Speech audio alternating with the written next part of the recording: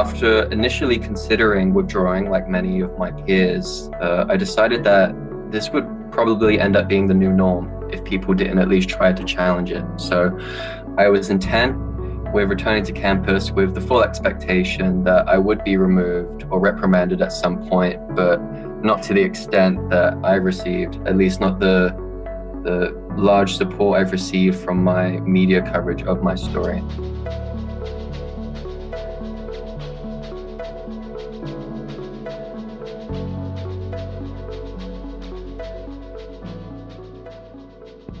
Okay, so to start off, would you mind telling us a little bit about yourself? So, your age, the university you're attending, the program, and just like what's important for us to know about you. So, um, what's important to know about me is that I moved to Canada when I was 10 with my immediate family.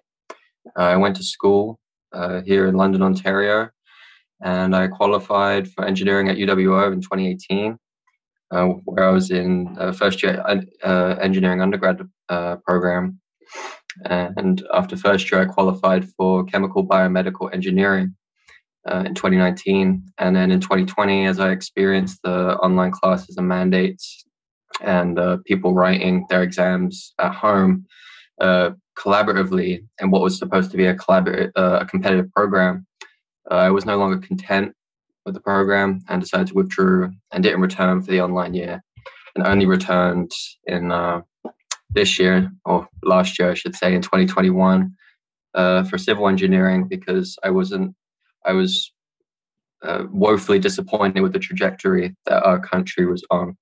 And since then, I've been involved with uh, fighting off my charges in my four legal cases that are going on right now, and being involved with student groups uh, here in Ontario and other interest groups that want to help me out and elevate my status and platform for other students. Perfect. Um, so you've been arrested four times, to my understanding. Can you kind of walk us through? That's a lot of times sure. for something like this. Uh, can you walk us through each one and sort of what happened, what led up to that? Um, just kind of give us the the full story if you can. So, what led to my arrest was within a few days in mid August, after paying the first installment of my tuition, they announced that all students, not just those in residence, but also those living off campus, would uh, require to disclose their vaccination status. And if they were not vaccinated or did not have a valid exemption uh, by a certain date, they would be de enrolled and uh, trespassed against campus activities. So, after initially considering withdrawing, like many of my peers, uh, I decided that this would probably end up being the new norm if people didn't at least try to challenge it. So I was intent with returning to campus with the full expectation that I would be removed or reprimanded at some point, but not to the extent that I received, at least not the the large support I've received from my media coverage of my story. But the way that unfolded was uh, for several weeks, all throughout September, I was receiving we, uh, routine emails, threats about my presence on campus and not disclosing my status and needed to providing proof by a certain date. And then finally, on October 13th, they said that I was trespassed against the campus and I was no longer allowed to attend the campus. And I had uh, two weeks to acknowledge this and perhaps remedy it by providing my vaccination status. Uh, all throughout this, I didn't provide any correspondence to the university whatsoever, uh, nor to the ombuds person, because I made the assumption that um, they weren't going to uh, reconcile or reconsider. And I just wasn't willing to recognize the authority of the institution that would be willing to implement these measures and go so far as to exclude and discriminate discriminate against students in such a way. But even after they issued the trespass on October 12th, I was still attending my class.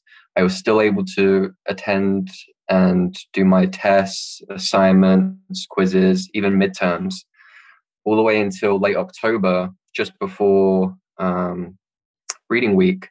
Uh, they finally removed my student access, my online student access. So that really prevented me from being able to study uh, to continue submitting assignments and following along with my course content and maintaining contact and announcements with my professors. So uh, after reading week, I reached out to a professor that, based on his conduct within the class during those two months, uh, had gained the respect of students like myself for being lenient and sympathetic towards uh, people that are dissatisfied with the university experience at this point.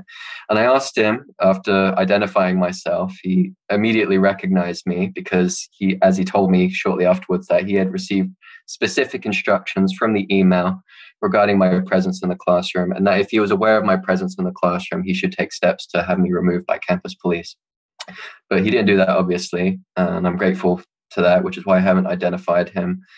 And um, because of that, uh, he gave me that insight, and it really left me with no other option than to ask the students in my classroom whether or not they thought this was acceptable. So after that date, uh, I stopped wearing the mask. Uh, obviously, I am someone that's very adamant about all of this, and I'm very unhappy whenever I'm wearing a mask, which was why I was more than uh, happy making that sacrifice and giving up my placement in academia because it just wasn't worthwhile to me. And I would ask students what makes student and university life worthwhile to them because I don't think it's about education for them anymore. I definitely don't think it's about them wearing masks in a classroom that they've had to uh, be vaccinated for. I think most students are more or less just content enjoying the social and partying aspect of university of those who still remain in those institutions. Anyway, before I get too sidetracked, um, so the very next day after talking to my professor, I went to class without a mask, and all throughout that day, uh, not a single professor, not a single student, not a single TA even acknowledged it because you can imagine there's so much fear and hesitation in that classroom that when someone makes a bold decision like I did, they don't even know how to react. And you're going to see more of that when you look at the videos of my arrest, the, the lack of ap- uh, reaction, the complete apathy of the students that claimed to sympathize with my cause. I had made friends in that classroom and I was making them well aware of what was happening to me and what they should expect and what I was planning to do. And they had given me their assurance and their support and confidence that they would uh, stand up in the room on that day and they would prevent this from happening, or at least they would make their voices heard and they would express their discontent.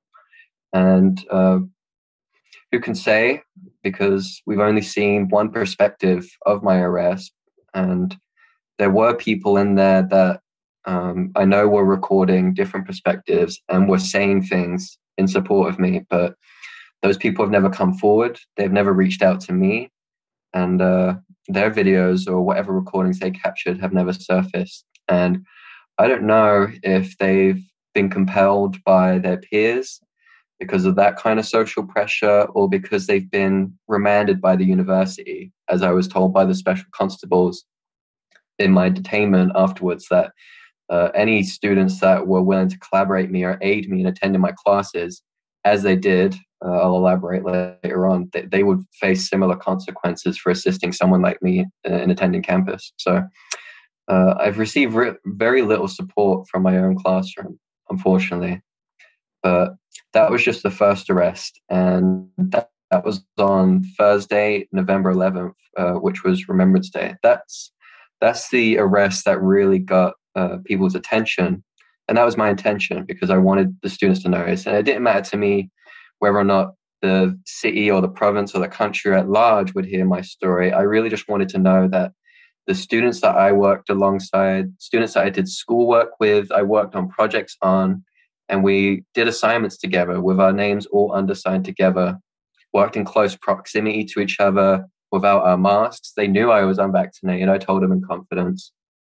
And then after all of this, uh, they just decided to remove me from the uh, online chats that we were using to discuss our assignments. So whether or not they uh, supported me then, uh, it's clear to me now that I didn't have their full support and I didn't have their complete honesty and trust on that issue. But that was just the arrest that was publicized because that was actually the second arrest. The first arrest uh, happened outside the classroom where nobody saw it. And I, that was very deliberate of the university because the day after I stopped wearing my mask, even though nobody acknowledged, acknowledged it at the time, somebody took notice and somebody uh, wasn't going to tolerate this. Especially, they weren't going to tolerate a student signaling to other students in the classroom that a mask is really not necessary for your personal protection and it should be a personal decision whether or not you think you need that kind of protection especially for someone that has undergone the medical procedure and has received their second or third booster up until now.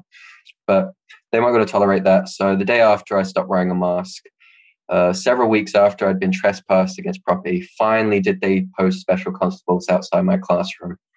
And after ordering me to leave the campus, I told them I refused, that I paid to be here, and it is my responsibility to attend my classes. They said they're going to have to arrest me. And I said, so be it. And they arrested me on the spot and uh, they searched me, they frisked me, and they held me in the back of their squad car uh, returned me to their office in the center of campus, and I had a lovely discussion with a very sympathetic uh, special constable who was very reluctant to issue a trespass ticket, which is being resolved during this week. Uh, I can't say much more about it than that, but what I can say is uh, during that detainment, uh, you could see the indecision, you could see the doubt, you could see the internal conflict of that special constable, or of at least that special constable. And I would hope uh, a long way down the road, perhaps he would come forward and share his experience. But that wasn't going to be something that was universal, unfortunately. So uh, the day after that, um, I made sure my classes wasn't guarded, and uh, by asking one of the trusted students that was still had uh, supporting me at the time whether or not it was safe for me to enter the class. And after getting the all clear, I made my way into the class. Uh, I didn't bring my school bags. I knew I was going to get arrested.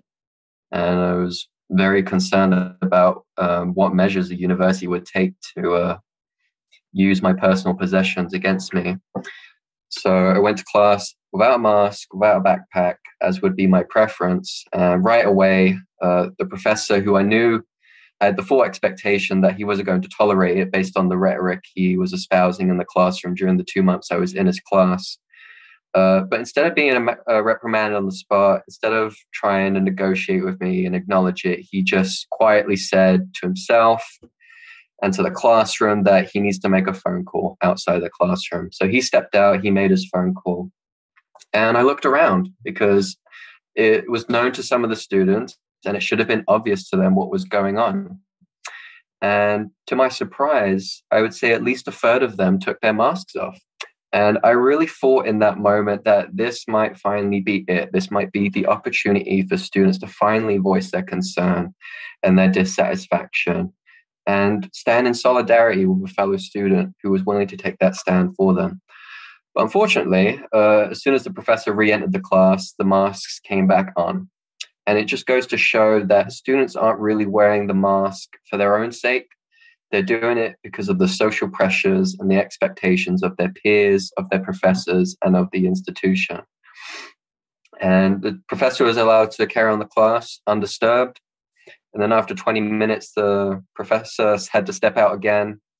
And he politely asked me to step out of the class to deal with the special constables. But that wasn't the plan. I was very insistent that the special constables conduct their business in front of the classroom. And the same uh, special constable that issued the trespass ticket the day before came in, told me that I can't be here, I'm trespassing.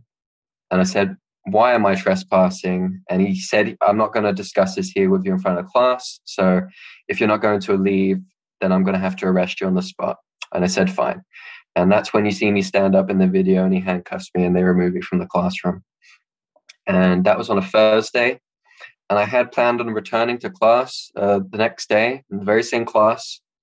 Uh, but I was told by my peers that the class was guarded. So I went home. And then over the weekend, I saw my video circulating on Instagram, but I had no idea how far uh, that story was going to go in terms of uh, in other social media platforms where I've heard that it reached a million views or so before being taken down, and it got the attention of the mainstream media, and uh, they were the first to reach out to me. Uh, not long after that, and after my what would be third arrest, uh, I hadn't intended on being a public figure. I thought my story would just more or less demonstrate how most students really feel. And I thought there would really be uh, a universal message, a universal outcry, not only for my uh, suffering in this ordeal, but for their own. But a lot of people were just more or less concerned with me and who I was and what kind of person I was and my own personal celebrity. And I am the least qualified. I am not that kind of person. I'm a very private person. I've had to start uh, establish a presence on a lot of these social media platforms just to give students and other people concerned an avenue to communicate with me if they want because that's all i was i've always offered that's all i was really willing to offer is just dialogue and discussion about these issues so uh, it was after my second well my second videoed arrest but my third real arrest when i returned to class the following monday and the only difference being was that it was the same room, but it was a different professor. And I really didn't know what to expect from this professor. And I would suspect that if he was the first professor that um, had to consider calling campus police to have me arrested, uh, there may have been a different outcome. But I think precedent was established. And because one uh, brazen professor decided that this was an acceptable course of action, he decided that as soon as I entered the room, that day I did bring my bag because I really didn't know. And I was again maskless. And before he did anything, he said to me quietly, like, I guess I have to call the police now. And I said, if you have to. And he more or less just did the same thing as the first professor, stepping out of the classroom, making his phone call. And again, I just looked around at the classroom and just asking them with my eyes, with my actions, uh, what they feel how they feel about this, what they think about it. And um, it was only the person that sat directly next to me that um, seemed completely ignorant of the situation because he thought it was just a mask issue. So he offered me a mask. And I said, that won't help. That's not what this is about. Um, and uh, I'm sure a discussion, uh, he wanted to lead me into a discussion about why I'm doing this and it really wasn't the place for it. Uh, I really could have used my stance to uh, make express a message to those people, but uh, you could say actions speak louder than words, and the video speaks for itself. And there's a million different things I could have said, but I've been saying millions of things long before all this, all throughout these two years, and nobody has seemed to listen. So that didn't seem like the time to speak out and say what I felt and why I was doing this. I guess it was more or less down to the students to witness it for themselves and decide for themselves what this really means to them instead of having me try and help them decide that for themselves.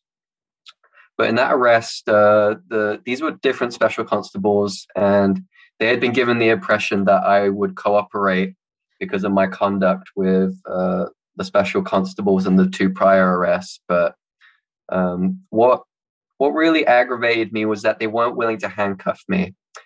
And the decision making behind that, as I was illuminated afterwards by these special constables, is that uh, handcuffing is at their discretion and they only feel compelled to do so if I'm perceived as a threat to public safety.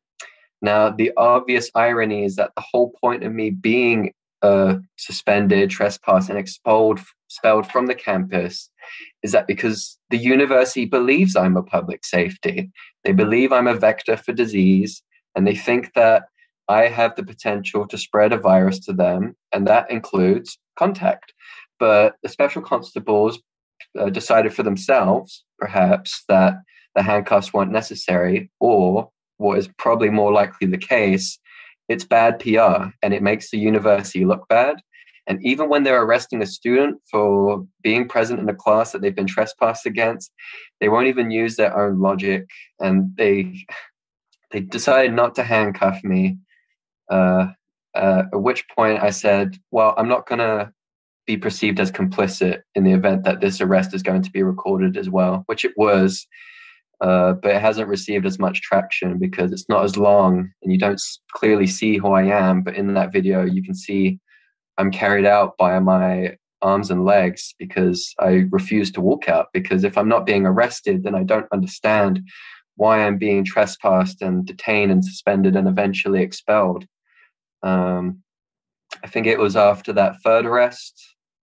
Um, the special constables, after detaining me and taking me back to their office, we talked at length about what I was doing because clearly a pattern was formulating for them and they wanted to try and understand my long term goal and objective here. So we talked at length about what I'm trying to do, uh, which I've hopefully given you an indication of. And um, once they had everything they thought they needed from me, or I was willing to give them, uh, they released me on the edge of property, just like in all the other previous arrests. Uh, but this time, uh, they used what I had disclosed to them against me in justifying my expulsion that came shortly after that third arrest. Uh, so I was expelled, and I I'm surprised. Uh, but hindsight is 2020, so I'm not surprised. I think if my story didn't get the traction it was getting, then I would still be going to class today and I would be pursuing this to its conclusion. And I would want to know. That was my intention at the outset.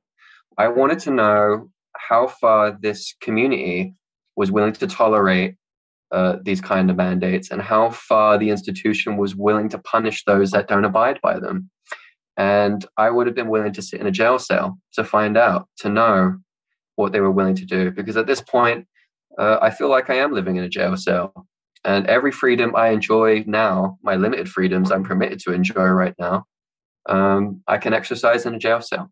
So that's what was my intention. However, I had to humble myself and had to appreciate that my stance and my story um, was a common one. And I have to share the burden and the responsibility of uh, uh, those students that are sharing in my suffering. So I want the best outcome for them. So uh, I went public because other people from my for, former life, from past experience, uh, started to recognize me in the video. So it was only a matter of time, and somebody was handing my circulating my phone number. So I started responding to some of the people that were looking for me, and that's when I got in touch with some of these student groups, and um, one of them uh, wanted to carry on with my intentions. So uh, the, that led to my last arrest, which happened a few weeks after the string of three arrests. So off the top of my head, the first arrest was November 10th, the second was November 11th, and then the third arrest was November 15th. And then um, I start. I went public and I uh, consolidated and I met some people and we considered how we could continue this and go forward. So we decided with one of these student groups that we would get a cameraman and we would return to campus on December 2nd because uh, one of the things that stuck out from the media coverage that I received shortly after my first string of arrests was uh, uh, one of the interviews done by CTV News. And they singled out these two female engineering students who expressed their gratitude and their pleasure at having me removed from campus and that they felt much safer. And I know that wasn't the consensus of my classroom. And I, I imagine that they had to ask a lot of students the same question before they found that very isolated, very extreme perspective on campus. So my intention was to return to campus and get everyone's perspective, not just the isolated and extreme and radical opinions of those that think I should be removed from campus. So we got a cameraman, and in a very open forum outside in the middle of campus, uh, I invited a large group of students at UWO who had their sympathies and support for me to come out and express their views and hopefully draw a crowd and get everyone's opinions, not just people that are that support me uh, and on side in these issues, but also people on the opposite side, because we we really want to try and understand and really expose their logic at this point. And I think we people need to acknowledge how ugly this kind of discourse has become. And we want to see the kind of extreme radical opinions that allow this and permit and permeate this kind of culture on campus. But unfortunately, within 20 minutes of beginning the interview, uh, campus police uh, were made aware right away and they uh, arrested me on the spot. Uh, there's a lot of things that were different about this arrest. But before I go on, what we learned in the aftermath is that in one of these large student groups of UWO students, of 200 or so students, I believe, uh, it was learned that there was an informant inside the group. So that's how they knew we were planning this event, that I was returning to campus, and a lot of students uh, got in trouble for things said in this private uh, group chat. So that's really unfortunate, and there's a lot that can be said about that. But what I want to say about it right now is that this shouldn't be an indication for people to go underground and stop voicing their concerns. It should be a sign of how detrimental and how extreme things have become that people are being incentivized to infiltrate and extract this knowledge from people like us about how we're collaborating, what we're trying to accomplish. So it's something to consider. Anyway, during that arrest, uh, there was very little sympathy and tolerance. Uh, what made this arrest different from all the others is that very deliberate attempt to be aggressive and intimidate me. And um, it had its own personal effect, but this isn't about uh, police brutality or my uh, personal grievance with the university. It's more or less a cultural and institutional development in recent years that institutions are willing to direct their special constables, a branch of the police that are meant to serve and protect the students on campus to uphold public student safety on these premises. And they've been directed to uh, hold me in handcuffs throughout my interrogation, uh, to frisk me aggressively behind closed doors, and to drag me on the ground and be reluctant to handcuff me.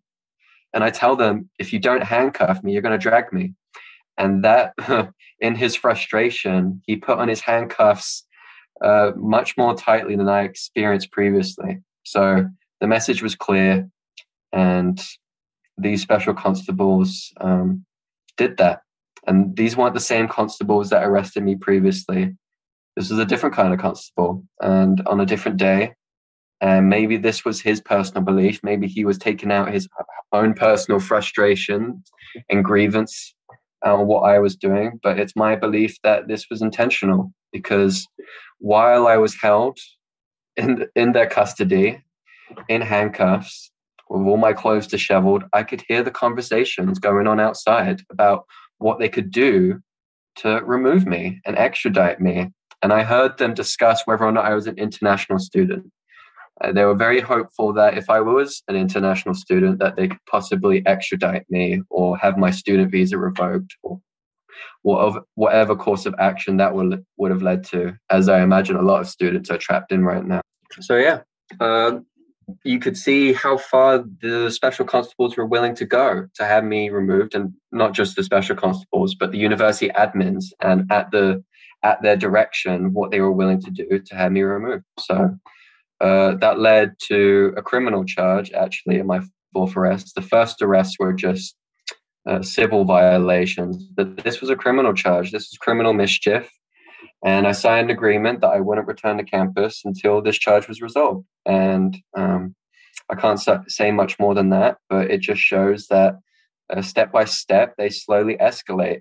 And it's not just in my case, but they're doing it all over with everything else. They've escalated the restrictions on people that don't abide by the mandates. They've escalated the res- the expectations on people that abide by them, and they've escalated um, the medical requirements, being that you have a third booster, and there's already rhetoric about whatever new measures they want to impose in the near future or the far future, depending on how long people are willing to tolerate it. But yeah, that that was the full extent of my four arrests. It's incredible. I saw two videos. I saw one where I'm now that I've heard your story, I believe that would have been the second one where you were in the classroom and you can hear in the background students laughing. And you were saying there would have been about a third of the students who actually did support you and had taken off their masks. Is that right? That that's that video that I saw was the second arrest? That was the second arrest. That was the first video. And what I would say, like, yeah, I heard them laughing. I've seen a lot of people laughing and mocking online.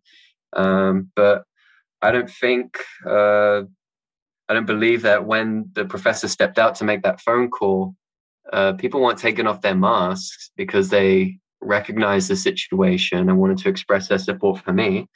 They did it because that was their personal decision. But what kind of generation are we raising where people don't make personal decisions but for themselves when they're uh, under the observance of authority figures like their professors? And when you when you give up that freedom, it's it's a very dangerous precedent. And those people will laugh at me. And I've spoken to some of my former peers, not not from that classroom, but from uh, when I was first in engineering in my first and second year in 2018 through to 2020. Um, one of the things that stuck out to me was what uh, my former student said, which was, um, "You made a decision for yourself, and I am happy for you for that." And what I made a point of clarifying was that um, sorry, let me correct that. You're going to have to edit this. no problem. my former friend said, um, You made a different decision from everyone else. And I am happy for you for that. And I was quick to correct her and saying, No, no, you and everyone else have made a different decision from me. And I am not happy for you. And I'm actually very sad for you. But I am more or less advocating for the things we used to enjoy which was real classrooms with real professors that cared and not just online learning from video lectures from years ago from professors that have taken a leave of absence because this is not what they agreed to either. A lot of professors aren't content about it. And you see a lot of uh, professors that aren't qualified that have to fill these positions, and a lot of students that have to fill uh, these positions that aren't qualified because enrollment would be low and they've got to fill these spots as they restrict and exclude more and more students. Yeah, what I'm even um, realizing is people are not seeing the bigger picture or why a lot of people are choosing to take stands like you are. They're more pro choice than anti vax, if anything. Um, but something I found interesting that that you said in another interview, I think that was with Kate Wand, um, excellent interview you said that there were a lot of different empty classrooms at Western where students would congregate or spend time together and they would take off their masks and openly talk about what was going on. Can you speak or speak more to that or explain sort of what was going on there or how many students did agree with you? You were saying the one third were really doing it for their own personal, not personal choice, not um, not to show mm-hmm. solidarity or support with you. How many students would you say really did openly like agree with you or or feel the same ways like like agreed with what you're doing?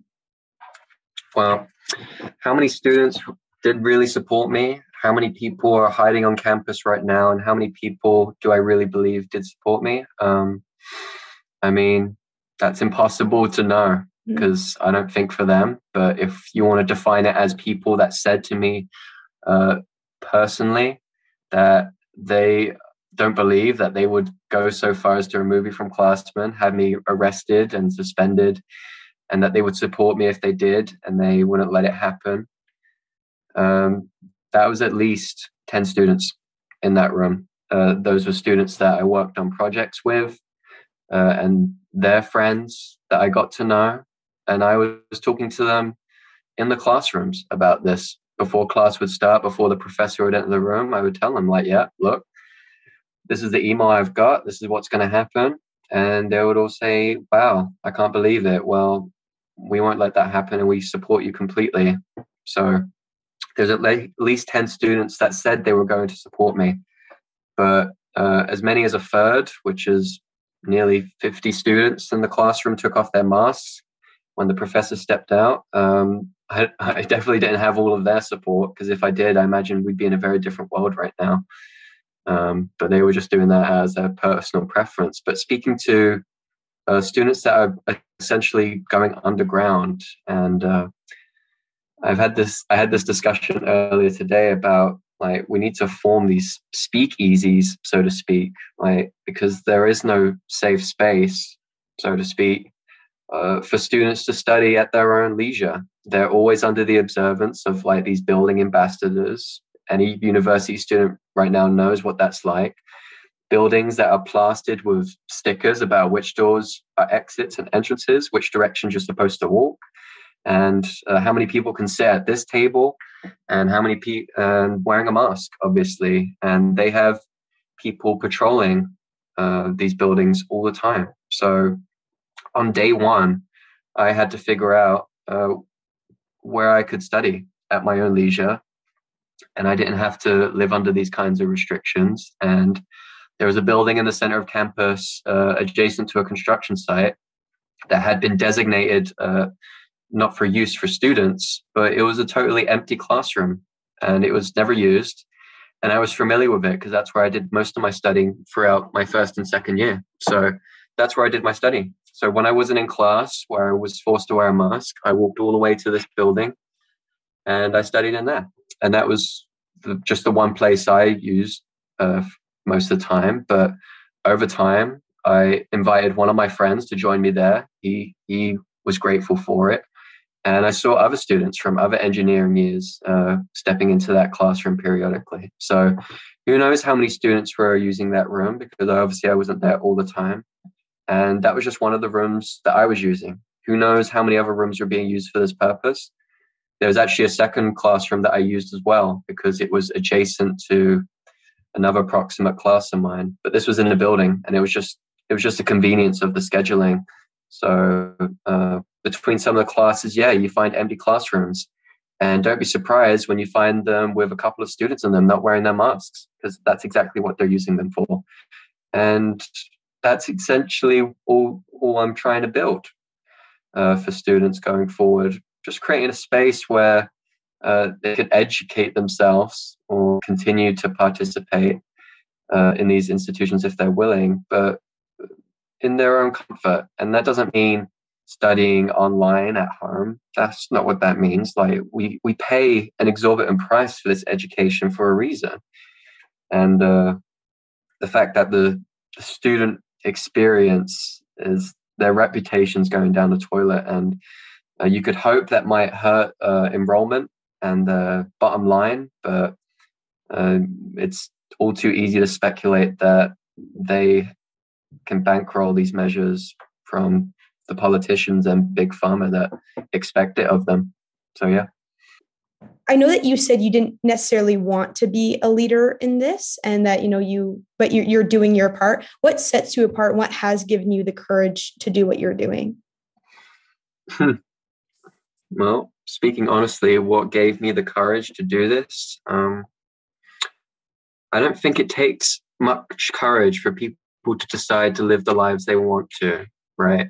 And I think for the majority of people, it's either they don't value their expectations from life or um, they just they value other things more. Like one of my former high school acquaintances uh, he mocks me and says you know that i'm a crazy conspiracy theorist and that i'm overly skeptical of gov- government control even though he is someone that uh, values his stance as someone that's right wing and hates government control and mandates and all that stuff. But he's convinced himself, he sold himself on the idea that um, this vaccine is ethical and it's necessary and it's our only way out of this. But uh, as the situation develops, that discussion evolves. So he mocked me then, but then a few weeks later, he's expected to get a third booster and he's online and stuck at home and not allowed to enjoy the things Canadians used to enjoy, just like me. And he can decide for himself whether or not he's uh, sold himself or oversold himself on this idea of uh, this being the only way to recover from this situation or we can reconcile and realize that perhaps this is not the way forward and that we're just being sold on false promises. And it's really up to Canadians to decide for themselves when enough is enough. So uh, he's very unhappy about that. But how often do those discussions get to happen? But he justifies his decisions by saying that he likes to socialize, he likes to go out and drink and eat and party and all those things that students enjoy and expect from their university experience. But I think they've forgotten why these institutions were built to begin with, which was their education. And clearly they don't value their education as much as the social aspect of university, which is fine to each their own. But it really creates this false impression that there's a large majority of people that actually think the vaccines and the masking and the social distancing and the isolation and the closing of businesses and other amenities we enjoy um, are being supported by these students. They're not. And we didn't even give them an opportunity uh, to voice their concern and to ask whether or not they believe that this was a logical or reasonable expectation on them. But students don't students don't ask themselves that anymore. I think they just more or less prioritize the few luxuries they're afforded now. And if that means getting their third booster, that's what they're willing to do. Luckily for me, I am the kind of person that doesn't value those things. And I'm a very private person. And I was there to get educated. And you can see a lot of people think I am very well educated and well spoken. And perhaps that's why, because you're not going to find the kind of student that enjoys partying to take these risks because they still get to enjoy the things that don't matter. Whereas I no longer enjoyed the things that mattered to me because I knew I was getting a subpar education and I was paying way too much for it. And a daily, on a daily, uh, regularly on a daily basis, I was looking around totally dissatisfied with the culture on campus. And I could enumerate all the disputes I've gotten into over these last two years about these issues. Um, just for example, when I was waiting outside a classroom for my professor to arrive, like I said, I only wore a mask in class, but between classes, as soon as I walked out that door, mask was off. And when I was waiting outside classes, one female student in my classroom said, uh, Could you wear your mask, please? And I said, Why? And I said, uh, It's the law. And I said, It's not the law. But people don't realize that. A lot of people don't realize it's not law. And it's more or less just a cultural pressure and expectation that's held on them. But those are the things I, I, don't, I don't value. And uh, I got the privilege of meeting Dr. Julie Ponesse, and she gave me her book. And in her book, she says very happily and openly that she's not the kind of person that cares about what other people think. And I think I think that's a virtue we can all aspire to. That's certainly what I value. I certainly don't uh, value what people think of me, but clearly, the majority of the student body does may does value that because that's what you see. And if you ask them, honestly, I don't think they value uh, the communal good, the greater good, uh, communal safety, and limiting the spread of this virus. They just care about how they're perceived by their peers.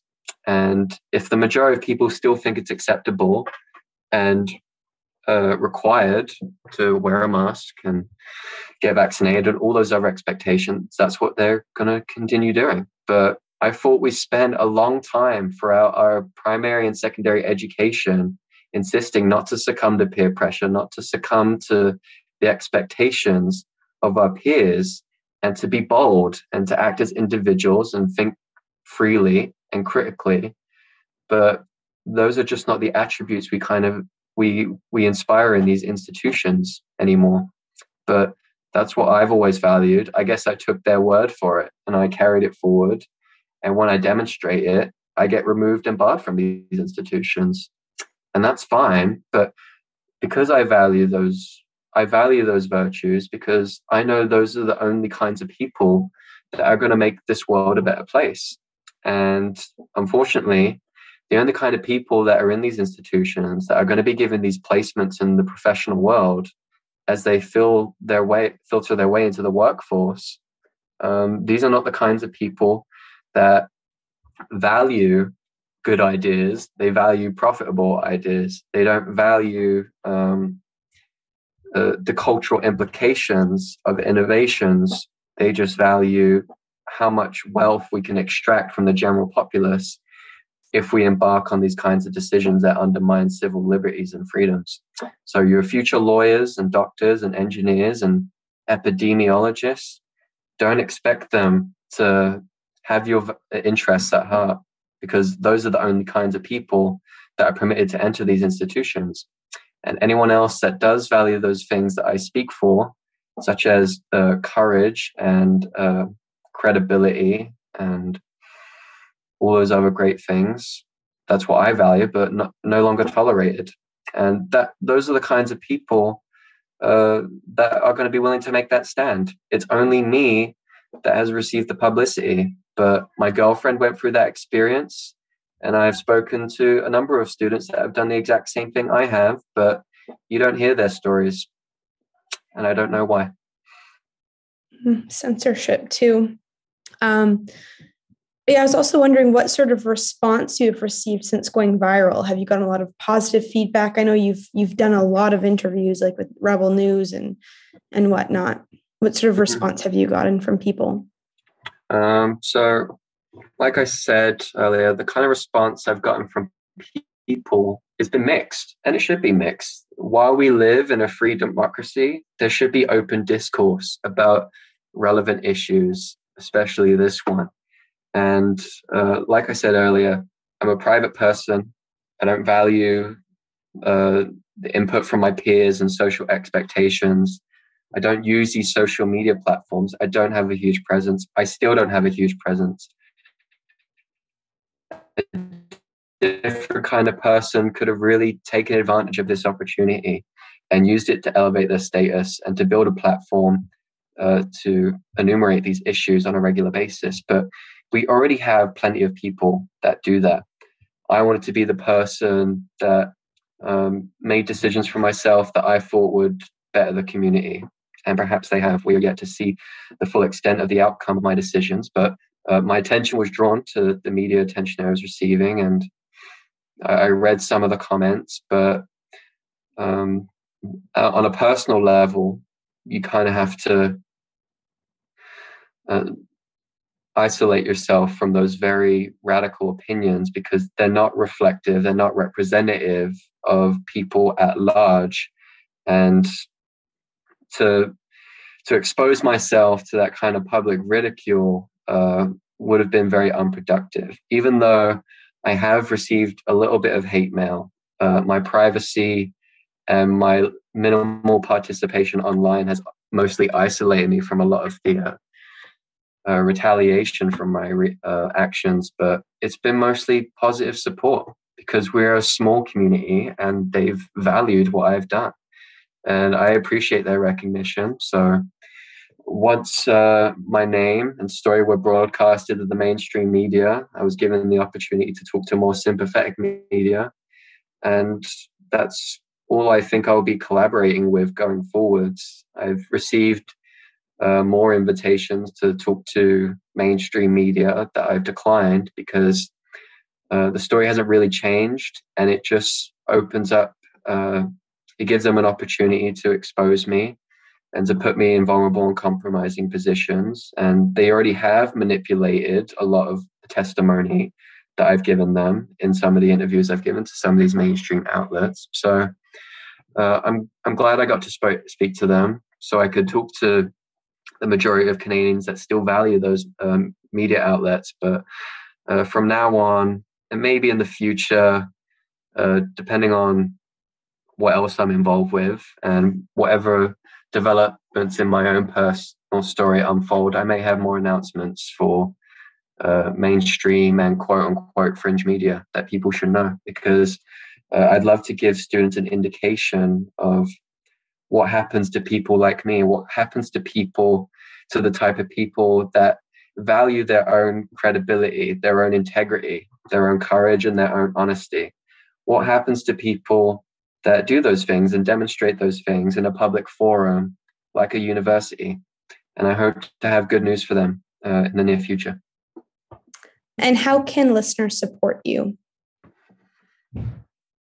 Listeners can support me by supporting themselves because ultimately it is not up to me to change this narrative for you, to change the culture. I am just one person. And I'm glad for the impact that I may have had on a certain number of people, but perhaps it's not enough. And it really is up for other people to lead by example. And I can lead by example for them. And that's what I've done for a lot of people. A lot of people want to reach out, talk to me, ask me what it takes, what kind of person is required, and how much that can help people. When you ask me what you can do to help me, you can start by, you know, making building a world and a culture where I'm allowed to go to a restaurant again, or a, I can go to a grocery store and I don't have to be uh, concerned about the stares I get from other patrons. And I can go to the mall and see friendly and smiling faces again. And the only way we're going to do that is by leading by example. Now, I don't expect everyone to be arrested like I did. If you want to, great. Because when it, when you're talking about bravery and courage, I am much more inclined to uh, get arrested in a classroom than go grocery shopping, because at least in a classroom, I know I'm going to have their attention. But in a grocery store, it's you don't get that kind of reaction as you might expect, as I've expressed, because you those people they don't they don't really care. They don't really care or value their own integrity or beliefs or thinking anymore. They're more than happy to just go along with the narrative they're provided. And when you when you decide that's the course of action that you're going to live with for the rest of your life, you don't have to be concerned about other people until the media and your governments tell you that you should be concerned about that people. It's only these governments, these authorities, these so called experts that are stoking the division and trying to create a divide and trying to create a scapegoat for ultimately the measures and the medicine that doesn't work and hasn't proven effective in protecting people and has potentially made the situation worse. So you want to help me? Like, just be honest. Just be honest with yourself, please, truly. Like, when you're asked to get a third booster, ask yourself if it's something you really think you need to protect yourself or is it because you want to maintain your income? And then if it's because you want to maintain your income, then ask yourself, what are you maintaining that income for? Are you doing it because you want to build a better world? You want a better world for the people that you love and hold dear, for your family, your siblings, your friends, and perhaps your children? Uh, ask yourself if this is the kind of world that you want them to inherit. And uh, if you honestly believe that, then we have a long way to go.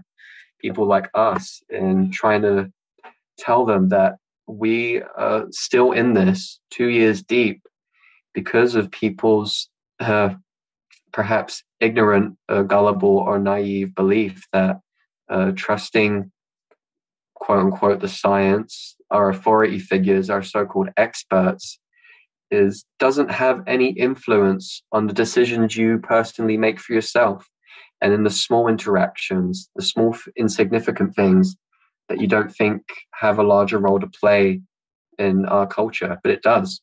Every day when you go out and you put on your mask you're signaling to people that you're concerned for your health and you think there's a public danger. But again just be honest with yourself and ask do i think there's a public danger do i think i'm a public danger most people, I would be willing to bet, don't.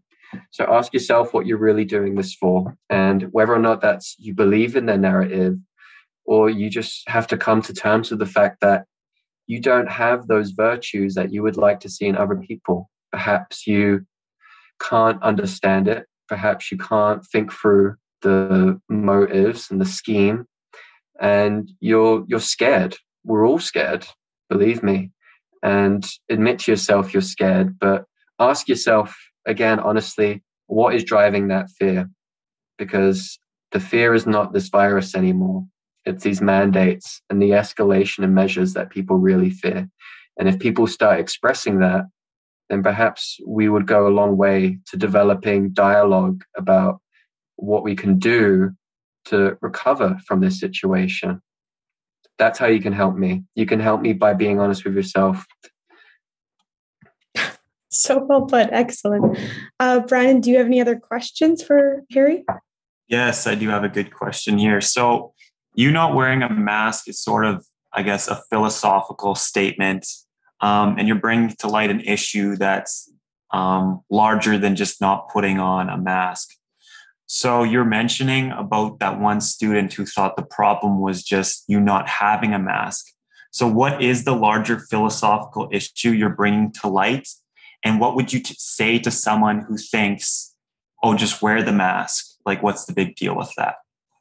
Mm-hmm. Well, as you've seen, um, there's plenty of science out there that uh, will say certain things about mask wearing, but uh, I'm just an engineer. I'm just a student. I'm not an authority on these issues, but I don't need to be anymore. And that's the truth of it, which is why you don't need to uh, recognize the authority of quote unquote experts. Ultimately, personal health decisions only affect you. And mask wearing has broader implications outside of medicine. And uh, perhaps we've uh, built up a culture of expectations over decades that this may be permissible for a certain group, but not for everyone else regarding our healthcare workers. And perhaps that was incorrect thinking. And someone else can develop a very compelling argument right now, uh, especially by those people that it personally affects. But I am just a regular, ordinary resident of Ontario, and I don't encounter disease and medical emergencies on a regular basis. I doubt uh, most people have, ultimately, if you are willing to look at the real data behind uh, the casualties of this epidemic. But what are the real consequences of decision making that uh, has an influence on your peers? And that's where we get into talks about mask wearing. I think mask wearing is more damning than the vaccine, which is why when people say to me, uh, just wear the mask, it's uh, it, has no effect or it's no big deal, like you say. Well, that kind of thinking has led us into, well, continued lockdowns and uh, restrictions because by wearing a mask, you're signaling to everyone else around you that not only you think it's acceptable, but you think there's a credible danger in our midst. And most people probably don't believe that, but they do it. They're wearing the masks because they want access to things, uh, even after they've gone through all the boosters, which may potentially have real implications. But I bet there's a lot of people out there, they say it is no big deal, that these vaccines are no big deal. But uh, regardless of the medical implications, like I said earlier, we don't even need to talk about the medicine anymore, even though there's so much information out there that you can find about what these vaccines could potentially be doing to our immune systems and whatever kind of adverse health effects they have. Uh, let's talk about the associated costs of producing and forcing uh, citizens to have these vaccines. Ultimately, uh, we pay for those vaccines. I pay for those vaccines, and I don't think they're necessary. But people above me, so called experts, make that decision for everyone. And we've departed from a culture where people can make medical decisions for themselves. Uh, for example, in uh, September of 2019, before COVID was in the public consciousness, I got really ill. Uh, so I put on a mask. And that's something that everyone should be given the choice to do. And I wouldn't expect everyone else around me to wear a mask just because I was ill. And I wouldn't expect everyone around me to get vaccinated because I was worried about and them spreading disease because I think people forgot and they literally had to cha- change the definition of vaccines. Vaccines are supposed to protect you, but uh, this false narrative, this sentiment that uh, not only will this medicine only work if everyone uh, uh uptakes it, but also uh, all health measures are only effective if we all uptake it. We lead ourselves down a line of reasoning that not only is going to be uh, seriously detrimental to us, as you've seen in other parts of the world, such as Australia, where they have taken the extreme measures and steps to remove people from their homes and to not only restrict everything we've been restricted from, but also a lot of uh, their financial freedoms have been restricted and a lot of the autonomies uh, that we are still allowed with permission to appreciate have been restricted. So not only uh, is that a credible danger for people like us, but you establish a precedent for the opposition, which is that we need to impose restrictions on people that make reckless health decisions for themselves. And um, without falling into a tangent about how most of the associated deaths from this pandemic have had comorbidities, uh, you could argue that anyone with a comorbidity is a detriment to public health, and we should impose restrictions on them. And that means uh, all the things that everyone enjoys, which is alcohol consumption, uh, smoking, and eating unhealthy. Are we going to start imposing financial incentives for people that have healthy lifestyles that regularly exercise and meditate and get a good night's sleep and don't drink or smoke or eat poorly? Um, or are we going to punish people that uh, are overweight or uh, are less productive ultimately or contribute less to society because they have limiting health uh, attributes? I know I do. This is a discussion I had uh, long before uh, this pandemic. I am someone with asthma, serious asthma, uh, childhood asthma. And at the beginning, I thought I'd be very vulnerable to this respiratory virus, but I've had it twice now. I've been fine, like most people my age, and the statistics reflect that. Uh, but people people don't consider those decisions for themselves anymore because it's not a health decision anymore. That's the reality. It's a cultural and societal decision. And you're not really deciding to uptake these measures for your personal health. It's so you can exercise your freedoms. And the philosophy behind simple decisions such as wearing masks don't enter the domain of science anymore. It's about how much people are willing to lie to themselves or bargain with themselves just so they can enjoy the things that have been taken away from us. Um, that is really the implication here. Um, have you ever felt frightened about speaking out like this? or doing anything else you've done? Felt overwhelmed? Mm-hmm. Yeah. So you said earlier, um, I, I've said I wasn't the kind of person that wanted to take up a leadership role. And do I enjoy speaking out? Um, well, I've been doing it for a long time. So maybe that's why I'm well practiced at it and that's why I do such a good job. The only thing that's really adjusted is that there's certain uh, personal things I can't say, and I have to be careful of the mainstream media to not allow, give them the opportunity to manipulate my testimony uh, to put me in a compromising position. But all throughout this pandemic, uh, from previous employment and amongst my own friends, we've been having this dialogue. Uh, everyone should be having this dialogue.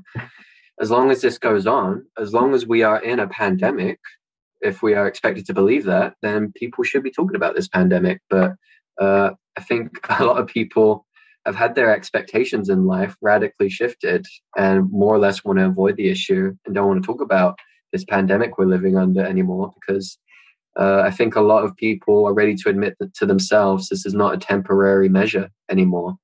This is a new permanent uh, lifestyle that they want to impose on the majority of people. And you, I think we haven't acknowledged that publicly. I think maybe uh, to ourselves, to the majority of people, maybe they would be content with that. But by and large, there would be a, a large minority voice out there that would encourage others to fight for the things that they used to enjoy. And they certainly would. And that's all we can give people the opportunity to do by allowing them to speak and express their concerns. Um, I've had to, like I said earlier, be humble and be and accept the responsibility and my role in uh, this movement. It is a movement. There's a lot of people. You can't ignore three million Canadians and a large percent of people living across the border. You can't ignore that. It is a movement of people. And I have to acknowledge and be humble and in my role. And it's a lot of uh, walking a fine line between uh, what I personally believe and what is going to be best for everyone, including my loved ones going forward. at the beginning, I expressed my intent to serve out a jail sentence. And that may have got a lot of traction, it may not have.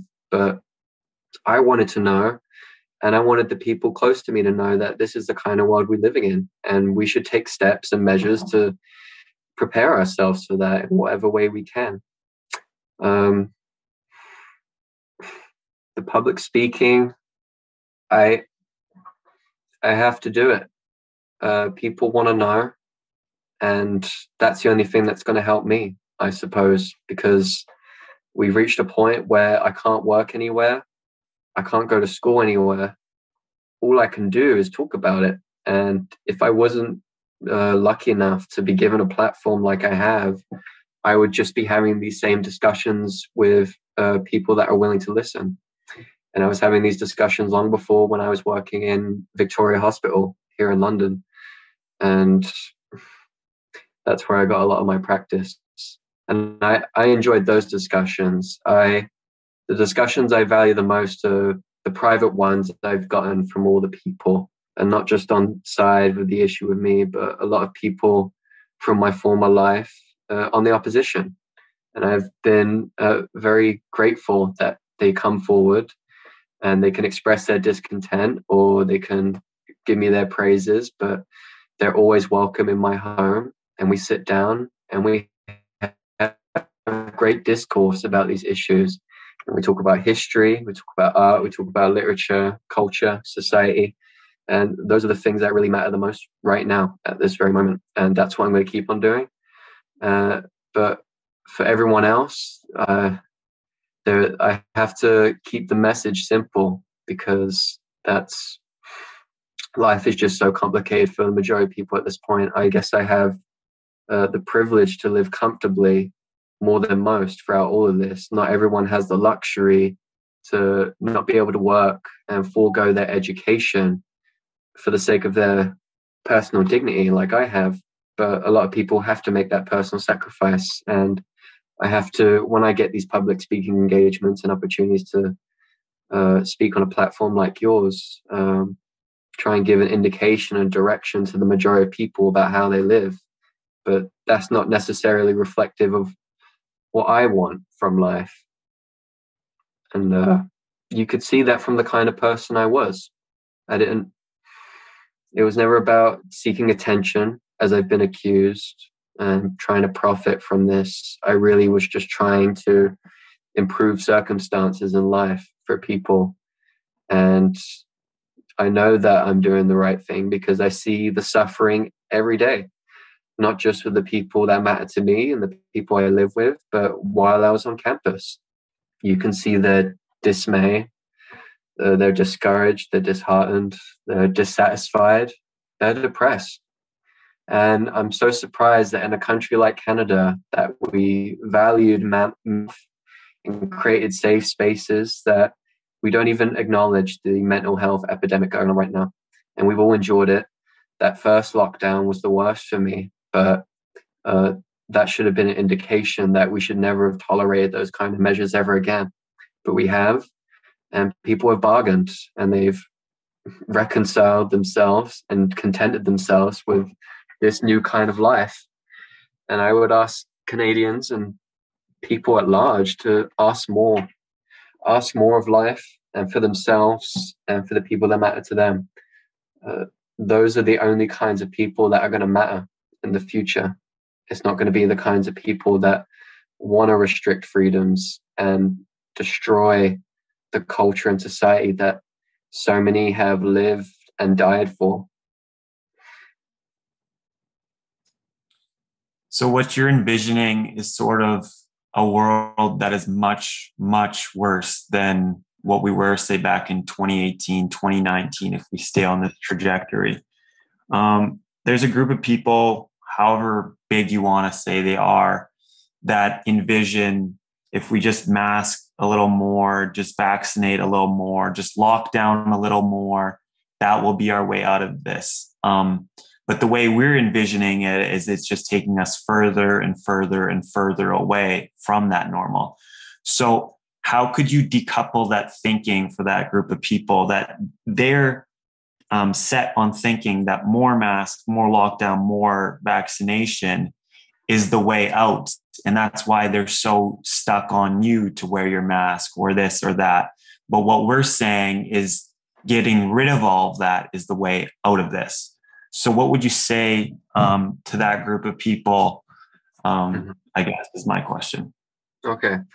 To the people that think that we're on the verge of um, emerging from this crisis, to the people that think that if we just continue and concede and give in uh, just a little longer, give them another inch of our freedoms, then we could go back to normal. Um, I would just ask those kinds of people to follow their logic to their conclusion. Uh, we're in the second year of this, which means we've gone through a full cycle of this, and people should be prepared for what they can expect this year and the next if we carry on our path.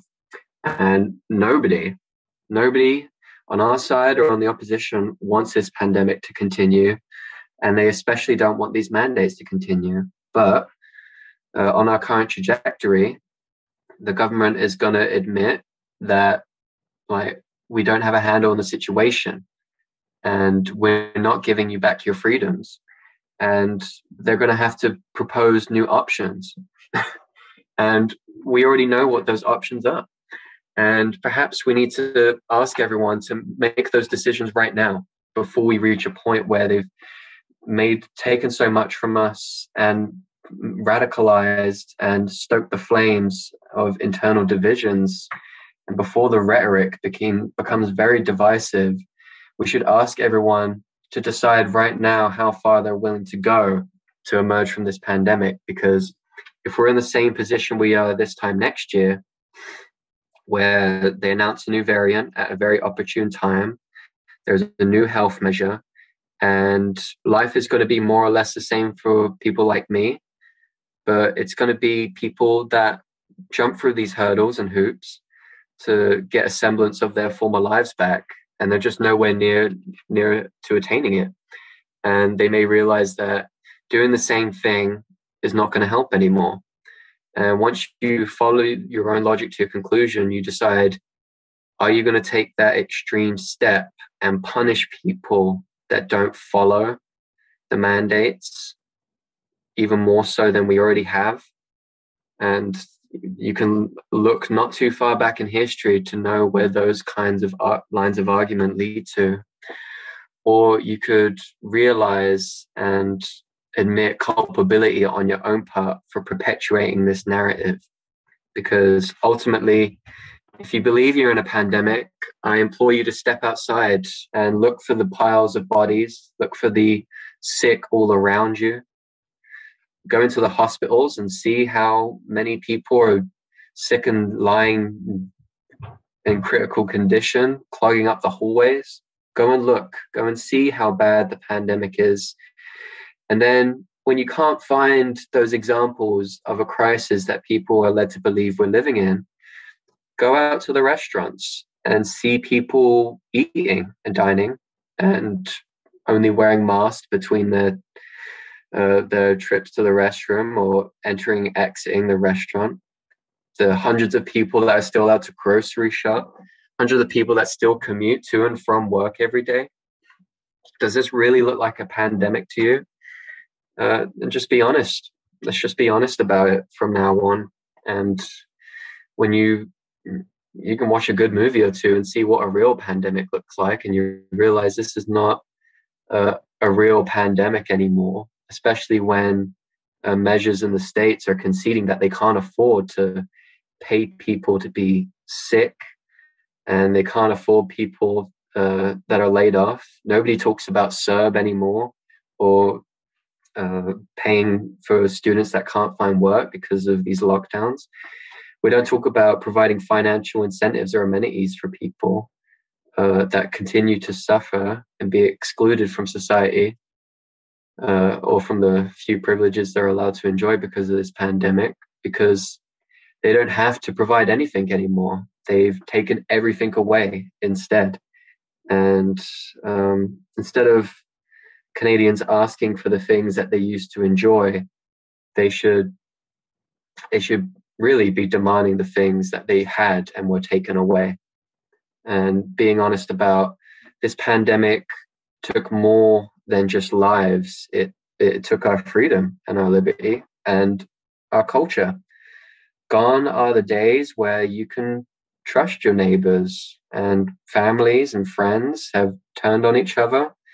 What happened to, you know, dialogue and empathy and sympathy and honesty and all those sorts of things family and friends used to value. I've lost a lot of my friends and I've made a lot of more friends, but uh, isolating ourselves into our camps uh, could lead us to be very vulnerable going forward because uh, if this rhetoric of us and them is allowed to continue and perpetuate and be espoused by people with the highest offices in our land without uh, without without acknowledgement, without reprimand, it, it, it's just appalling. And I have sympathy for people that are going to suffer the most because of this, but it's everyone that's going to suffer because of that. It's not just going to be unvaccinated that potentially, as we've seen in other democracies and Commonwealth nations, that are removed from their homes, are dragged off the side of the street and thrown into the back of a van, fired off to who knows where, uh, and put in these camps where there's still police. Um, they are going to suffer for sure, but everyone else that thinks they can enjoy their freedoms will be suffering as well because they will still be expected to mask even after taking whatever vaccine is necessary or supplement is necessary.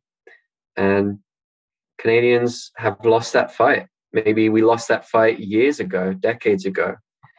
Canada is not a country known for its uh, independence, its revolutionary ideals, and its uh, militaristic contributions when there were real crises.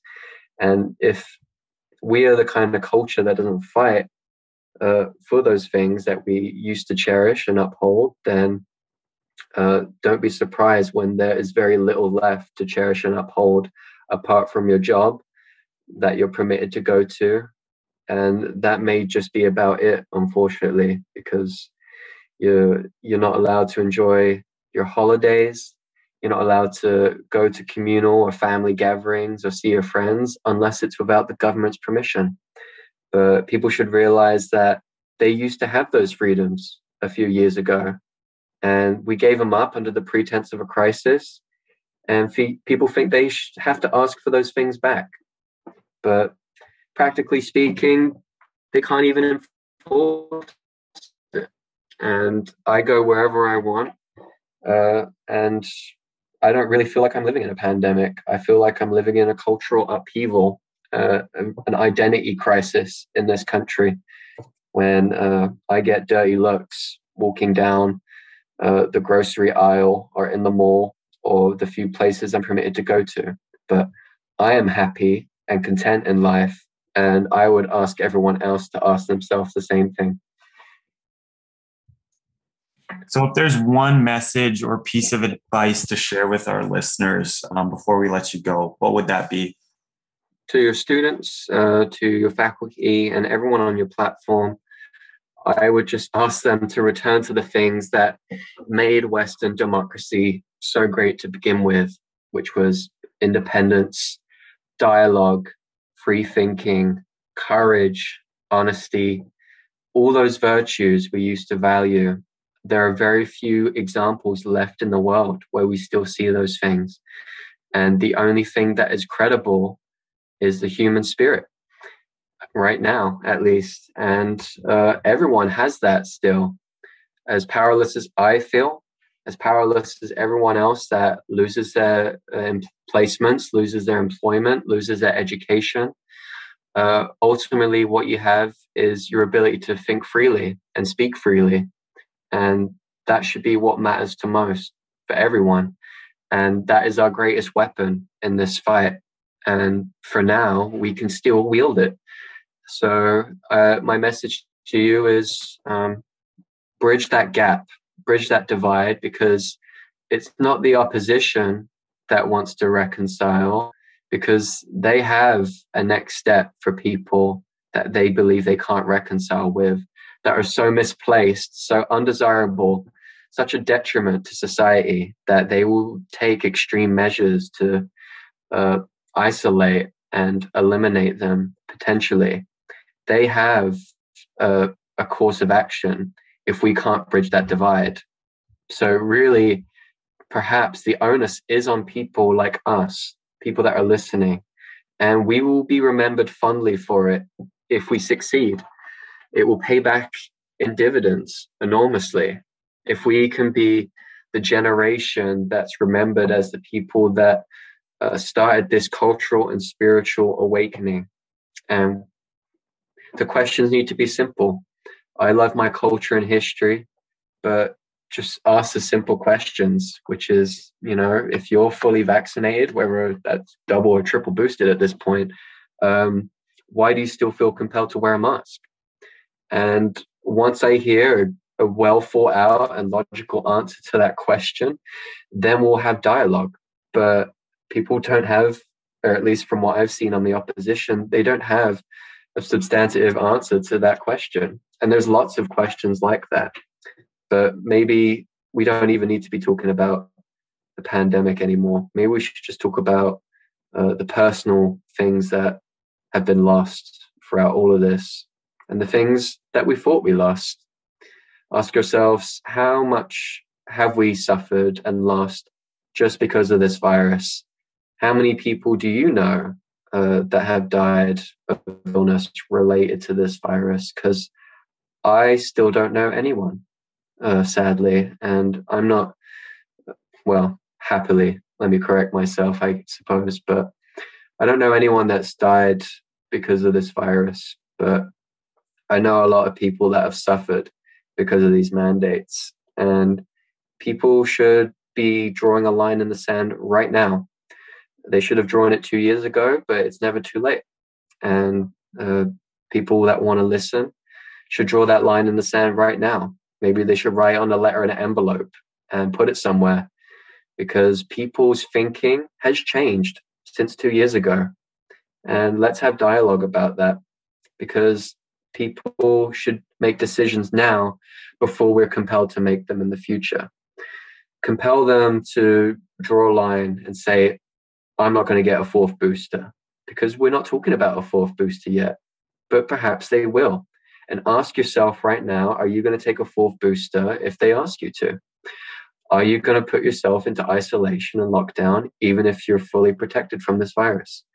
Are you going to stand by and let former friends and colleagues be carted off to camps for not abiding by these mandates?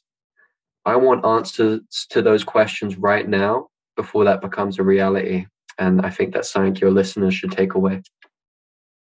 That was perfect. Thank you so much for taking the time to sit down and, and have this discussion with us. We really appreciate it.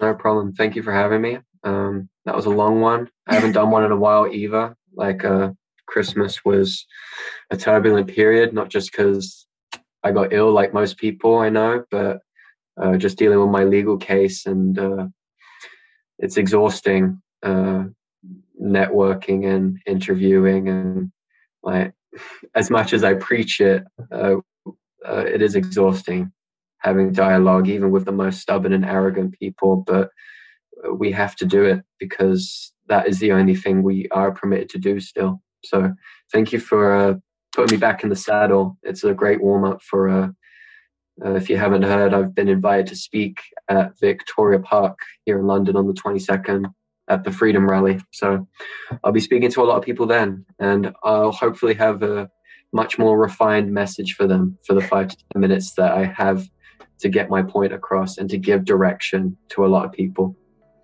That's awesome. I completely understand it. It can be very exhausting all of this like it feels good to speak truth but at the same time it can be very tiring focusing on this all the time being inundated with it. Um, so yeah we do really appreciate that. And best of luck to you uh, doing that speech. It's going to go really well